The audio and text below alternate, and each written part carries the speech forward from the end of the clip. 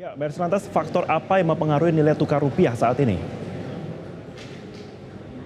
Analis masih memprediksi bahwa rupiah hari ini secara teknikal trennya akan bergerak menguat. Namun turunnya harga minyak dunia akan menjadi angin segar untuk penguatan rupiah hari ini.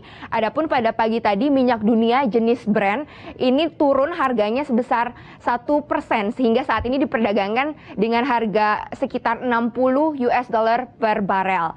Dengan demikian uh, di, disinyalir bahwa pelemahan minyak har, pelemahan harga minyak dunia ini berasal dari atau berdampak merupakan dampak dari government shutdown Amerika Serikat. Demikian Marvin. Baik, Mercy Wijaya. Terima kasih untuk informasi Anda langsung dari Bursa Efek Indonesia. Selamat pagi.